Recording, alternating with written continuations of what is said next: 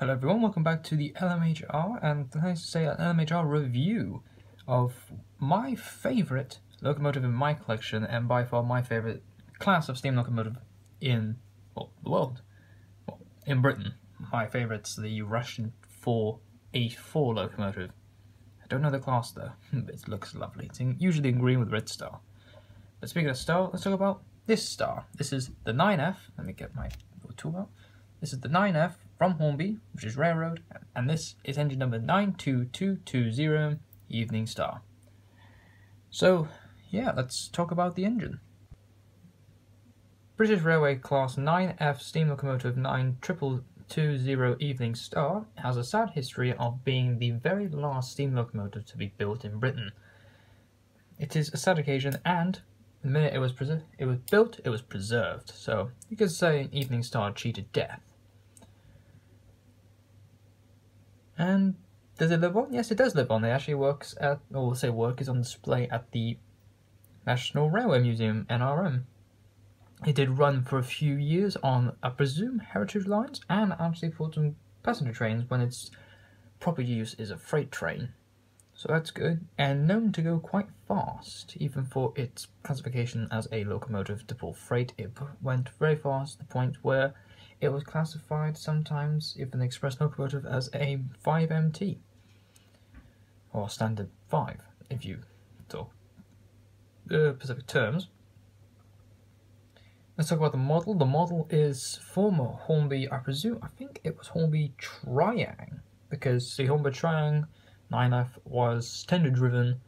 This is the railroad version, which is loco driven. There's obviously great improvements from the earlier model. So let's talk about the detail of the model. At the front here, this is the buffer beam, which is painted lovely in red. The NEM coupling is separate. I go. I think when I bought this thing, it didn't come with an NEM coupling in the front, and the NEM couplings in the front of the 9F locomotive from the railroad range had a bit of a defect where they were very low down, and that is true. I had to cut the end of the NEM. If I bring it up here, this part here, that had to be cut off because it kept catching on points, especially where the frogs are. The curve will come, then they'll caught it and derail the front trailing truck. Ignore my dog barking in the back, sorry. It has got sprung buffers, if I show. Very nice feature. The front here's got a hand railing, and yeah, this is a very old engine in my collection. When I'm reviewing my model locomotives, I'm reviewing them in chronological order of when I got them. Tornado being my first review because it was my first ever engine, which still runs today. Because technically my first ever engine was a 37, but it doesn't run, and my second one, this is my second one, but theoretically speaking, it should be my little pocket rocket, which is this little one here, which doesn't run anymore. It's just a static model that can run up and down. But yeah. Here we go. Just stick it back on that. Go on the side of the track. So yeah, by the age you can see that the handrails do look a bit naffed, but they are quite strong. You can see the numbers 92220. It's got the smoke mark start. On the front here, I think that says, if we zoom in, this is where I dropped my phone, that says 50A. I don't know what it stands for, but it's a nice feature to have.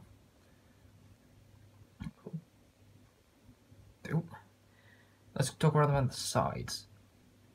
Here on the smoke deflector it says the name, Evening Star, and it has a builder's plate underneath there, I think it's meant to say like last steam locomotive built in Britain and stuff like that. I can't read that, and I don't think if I were to zoom in on the phone, no, you, you won't be able to see that is annoying. There are lovely red, well actually it looks kind of orange, orange lining. My dog is barking in the back, I do apologise.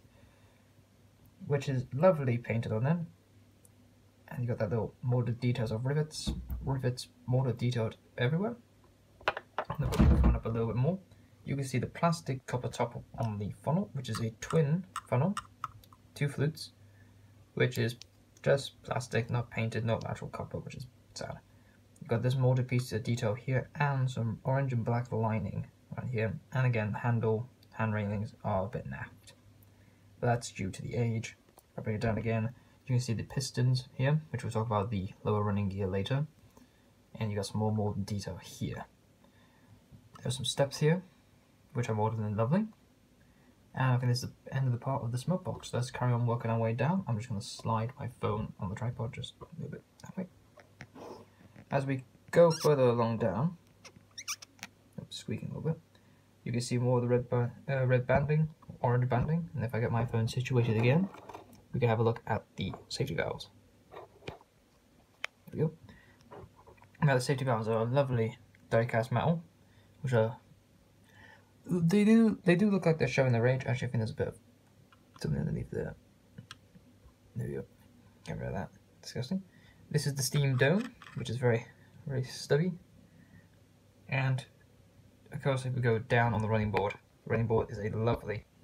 Well, if we do go down the running board, just there we go. The running board's got a lovely uh, black finish on it, but more of that molded detail. And if we move along, to the cab section. Stop squeaking. Hmm, Stop focusing really good. Do. Yeah, it does look very dusty. It's because the condition let me go on my brush. Doesn't really run. And again, it is a very old model and I lost the box for this thing, so it's just stuck on the shelf. I do my, do my best to make sure my engines are nice and clean. Again, multi-detail is lovely. Got a little step here. Where you go after that, I don't know where the driver would go. We've got some more detail here. And more molded detail on the roof here. I think that's the whistle there. And a couple of other things. The cab looks lovely. You got that red lining all the way around. You've got the 9 from 9F. And it's got 92220 and a little blue dot underneath. You got molded detail actually below. Which is this assembly right here. Which goes up. I presume the new 9F that Hornby is making for batshit prices. I'm not, I'm not going to pick up. I'm happy with this one. I'm not picking that one up. Uh, this is going to be painted or maybe die-cast metal. I mean, yeah, okay, that's cool. But um, I'm happy with this one. So let's talk about the lower running gear. Oh. As we see from this far shot here, we can see the pistons assembly here, which is molded and lovely, and you got the wheel, the guiding wheel, which had had a spring in it, but I lost the spring, so I don't have that anymore. But you can also see all the linkages here are done to a pristine level. And again, this is engine driven now, so everything is driven here. And I think this wheel is what's the actually powered, powered one. And this 9F does not have a flanged middle wheel. And in real life, they didn't have a flanged middle wheel, which I recently found out, which was very, very odd. But explainable. It's difficult to go around corners if you have all flanged wheels. But yeah, if we if I would like to zoom in to the wheels, you can see the amount of detail that is done on the wheels. The axles are all of them mainly painted. The this driving wheel driving one over here, if I just slide the phone across.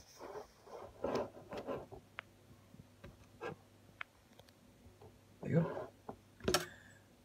This one here is a bit shut off maybe because of the amount of times it's been in contact with the coupling rod. So yeah, again that's due to old age. And I know it's going to be difficult for me to show, but if I bring this up, if I were to get something bright, like my green end of my screwdriver, bring it up, you can actually see the the screwdriver across the side because it's actually hollow in there, which is very cool and very realistic. I think the 9Fs in real life were chain driven. I might be wrong, but I'm just going off what I think. And if I just grab the engine and bring it forwards, which I know I shouldn't do, but I'm going to do it anyway.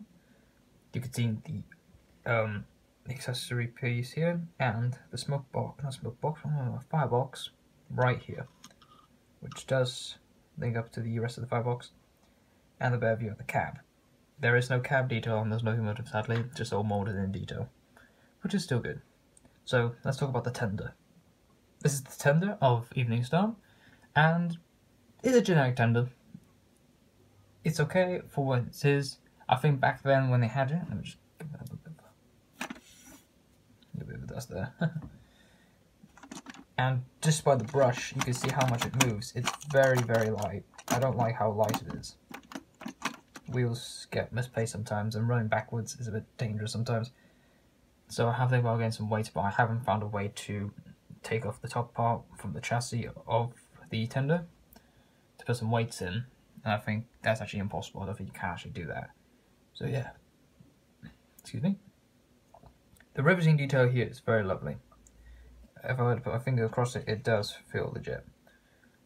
The British Rail sign, if I zoom into that, it's done okay. Alright. Not much chipping, which is good on my part. That's very good. And again, I do take care of my logos. Promise. And by zooming in, you can actually see all the detail, like the rivets and the beautiful lining. Zoom out again, and you can see down here the molded in detail of the springs and bearings. Would be nice to be painted, but then again, nothing's over me painting it. It's got two domes up here. I don't know what that one is. No idea what that one is. But that one is where the water comes in. And for a railroad model, this has actually got sprung buffers. And another bit of fancy detail. I'll show in a second.